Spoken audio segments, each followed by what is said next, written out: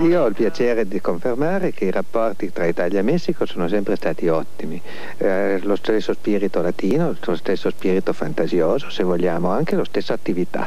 Eh, è interessante dire che sono stessi, eh, sono stessi i colori delle nostre bandiere, sono stessi i sentimenti che animano la maggior parte del nostro popolo.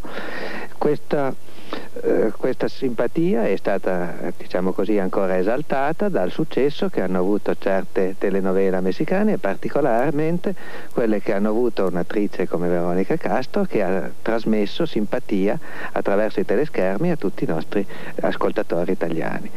Io oltre a queste brevi parole volevo presentare il console eh, di Milano, il console di carriera. L'altro dottor... nostro illustre ospite.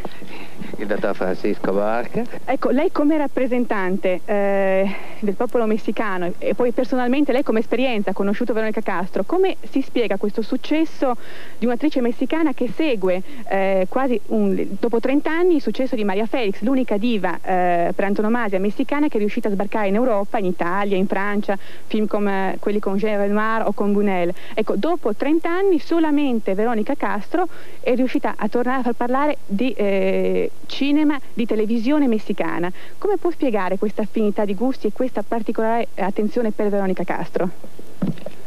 Innanzitutto credo che Veronica Castro con eh, tutta la sua professionalità di attrice ha saputo trasmettere attraverso l'immagine televisiva la sua caratteristica umana di persona bastante capace, bastante nobile, molto agradabile, sa come eh, trasmettere attraverso questa immagine che parlavo quello che in persona si riafferma quando ha avuto la fortuna di conoscerla, quando ha avuto la fortuna di parlare con lei, quando ha avuto uno la fortuna di stabilire un contatto permanente di amicizia e credo che questo eh, il pubblico italiano lo ha apprezzato abbastanza, abbastanza bene perché per esempio noi al consolato arrivano parecchie volte carte, lettere delle persone eh, italiane del pubblico che vogliono comunicarsi con, con, Veronica.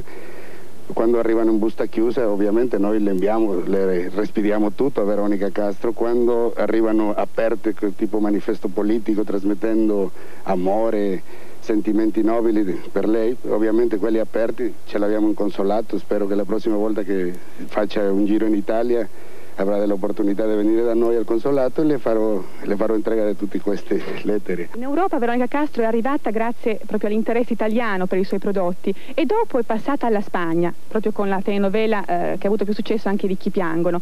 Eh, come, come spiega eh, questo interesse prima dell'Italia? Stranamente c'è sempre comunque un problema di lingue, anche eh, se le affinità sono tantissime, e poi questo sbarco in Spagna, dove anche quest'anno, eh, inizio 88, l'anno scorso 97, il successo è stato notevole come in Italia?